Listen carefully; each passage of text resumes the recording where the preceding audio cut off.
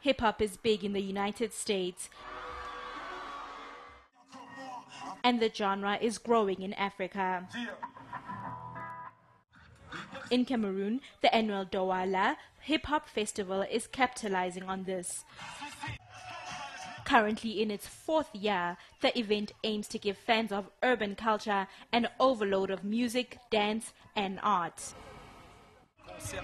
Three days of concerts, of workshops, exchanges of knowledge about hip hop. I think the whole wider family is here the graffiti artists, the taggers, the DJs, the dancers, and the rappers. It isn't only about entertainment. The promoters hope to promote the music industry by building ties between different stakeholders.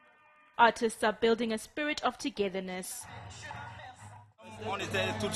We just left the stage at the hip hop festival. We support everyone Darko, Polyester, those that we haven't mentioned, all the family, everyone who supports hip hop in this country. Surtout, bonne année 2015. The festival also gives aspiring hip hop artists a chance to grab the mic and test their skills.